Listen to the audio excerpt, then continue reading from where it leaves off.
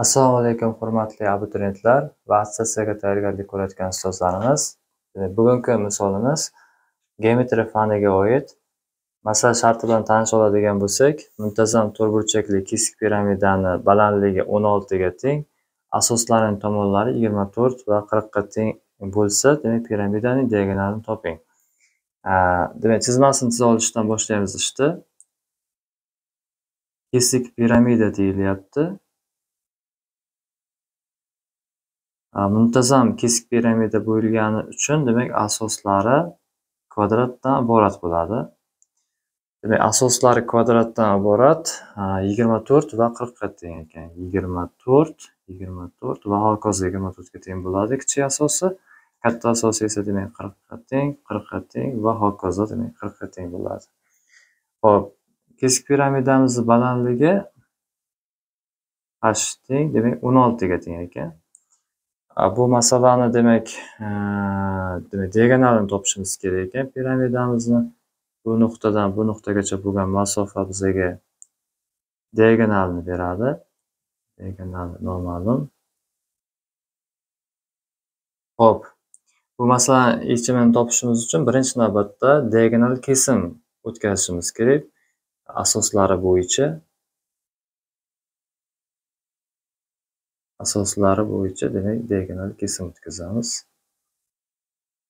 va kesgan vaqtimiz bizaga teng yo'lda trapetsiya hosil bo'ladi Xo'p, 24 va 24 ga teng bo'lgani uchun mana bu qismi, mana shu shtrixlangan qismi demak e, trapetsiyamizni kichkina asosi bo'ladi. Bu b ni topish uchun esa demak biza kvadratni diagonalini topishimiz kerak. Ya'ni kichkina asosni diagonalini topishimiz kerak. 24 24 bo'ladigan bo'lsa, demak diagonali 24 ildiz osti 2 ga teng bo'ladi. Demak, buni qiymati 24 ildiz osti 2 ga teng ekan. Va katta asosnikini ham shunday topmoqchi bo'lsak, 40 teng 40 teng, demak katta asosning diagonali demak a teng 40 ildiz osti 2 ga teng bo'ladi. Endi balandlik o'zgarmaydi. O'n oltiga teng. Bu yoqda ham demak o'n oltiga teng bo'laveradi. Trapetsiya uchun ham. Bizaga endi e, katta diagonal kerak. Bu diagonalni topish uchun esa bizaga mana bu masofa kerak bo'ladi. Bu masofani topish uchun e, trapetsiyani hosillarini bilishimiz kerak. Agar asoslar mavjud bo'lib balandlik katta asosni ikkita qismga ajratgan bo'lsa kichkina qism a ayrilgan b taqsim ikkiga katta qism esa a plyus b taqsim ikkiga teng bo'ladi. Demak katta qism kerak bo'ladi bizga. Katta qism qirq ildiz ostida ikki qo'shilgan yigirma to'rt ildiz ostida ikki taqsim ikkiga teng bo'ladi. oltmish to'rt ildiz ostida ikki yuqorisi demak ikkiga bo'lgan paytimiz o'ttiz ikki ildiz ostida ikkiga teng bo'lgan qiymatni olamiz.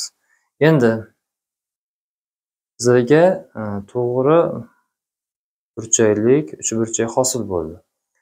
Bittagina pifagor teoremasi bilan d ni osongina topib olishimiz mumkin. D ning kvadrati teng hop h kvadrat ya'ni 16 ning kvadrati qo'shilgan e, bu qismni kvadrati 32 ildiz osti 2 ning kvadrati demak d kvadrat teng 16 ning kvadrati ikki yuz ellik olti qo'shilgan. O'ttiz ikkini kvadrati bir ming yigirma to'rt ildizosi ikkidan ikki chiqqan holatda demak ikki ming qirq sakkiz. D kvadrat teng qo'shgan paytimiz hop ikki ming uch yuz to'rtga teng bo'ladi d ni qiymati esa demak qirq sakkizga teng bo'lar ekan.